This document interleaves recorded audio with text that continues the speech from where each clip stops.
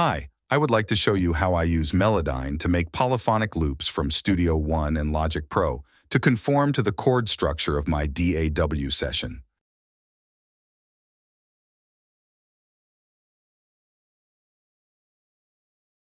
Here I have found some loops that I think fits my project. I think this would be great as the intro.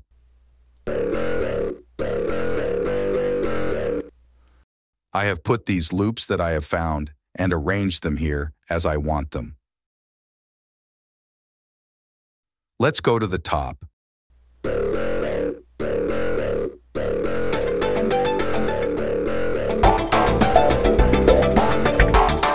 As you can hear, the keys of the tracks are all over the place.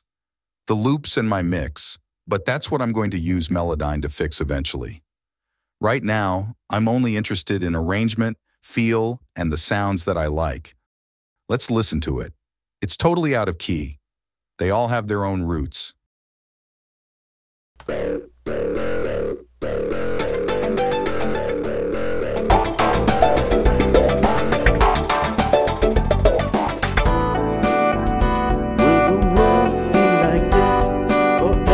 Again, totally different keys.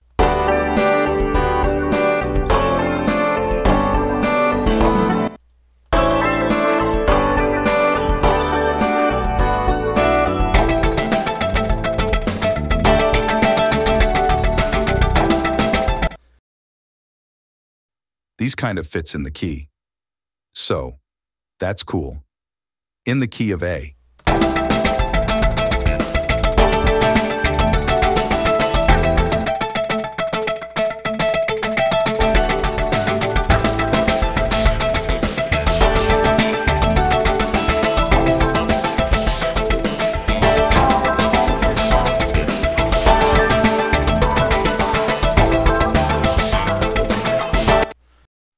Now I have the arrangement I am happy with.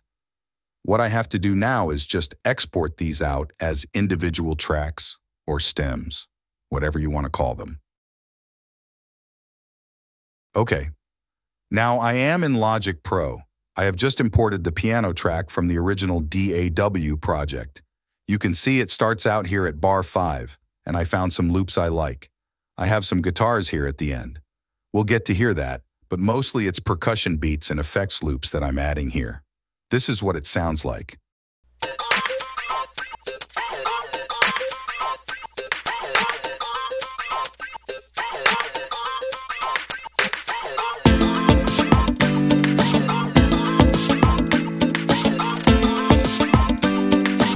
Again, you hear this wild stuff. The loops are out of tune with the backing track. Let's look at this guitar track. I found this guitar. It fits what I like in terms of the feel and the performance, but not necessarily in the right key. Let's go here and listen.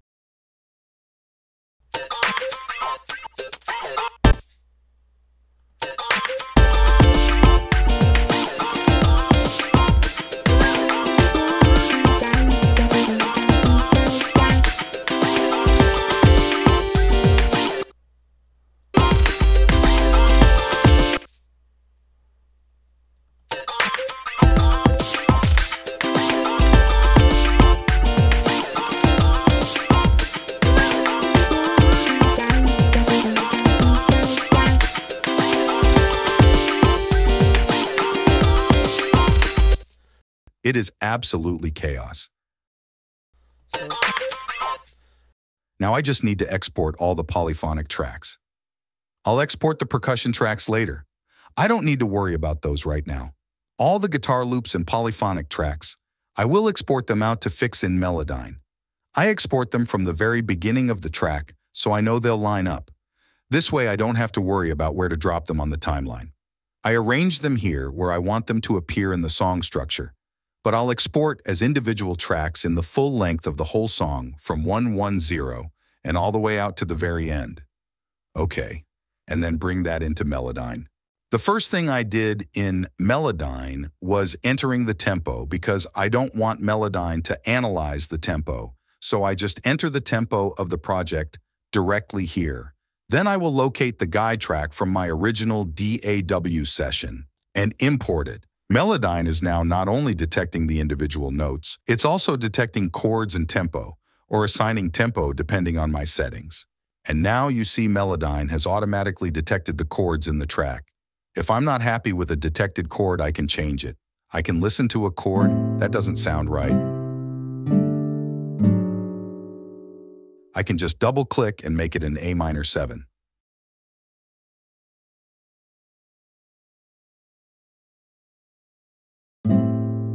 There we go. If Melodyne detected the wrong chord, you simply just change it here. Now, another thing. I like to use Melodyne standalone because I can have multiple projects open at the same time. So, let's go over here. Here you see I've cleaned up the chords. That's the intro you remember from the odd sounding session. Before I'll do anything, I need to go to Options and turn on Chord Snap. Which means whenever I move any blobs here, they will fit my track's chords. You see I have the A minor. So all the white lanes are the ones that fits the scale. Now it fits in the A minor scale.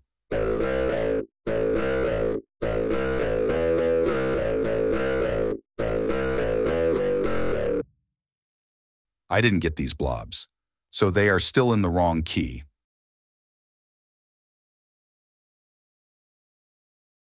Let's get the blobs up here.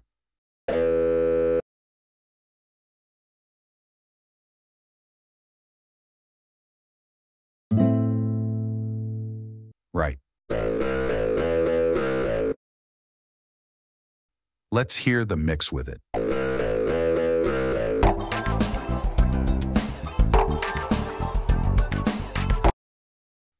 And same thing with the synthesizers. Go here. Let's see here.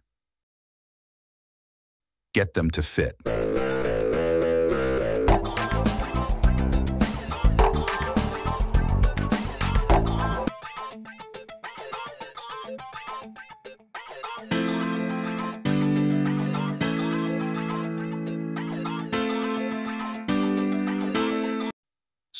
That's how we get these to fit. Let's jump to the outro here.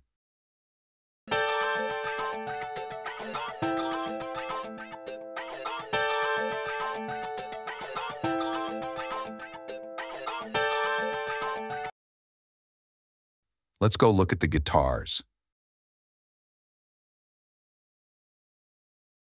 Basically, we have the same thing here,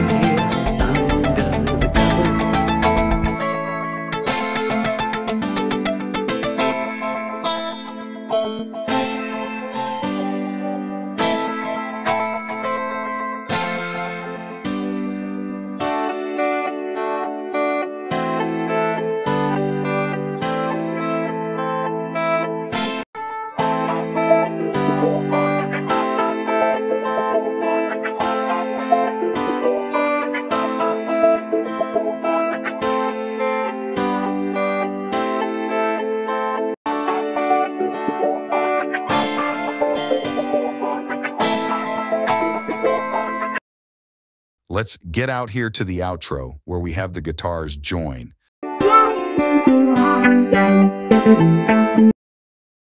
Make them fit the key simply by just clicking on the blobs. I've already done it. You see it now fits into the chord structure.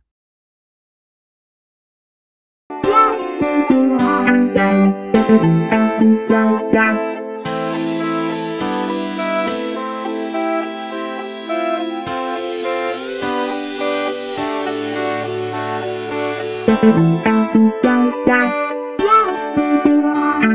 you.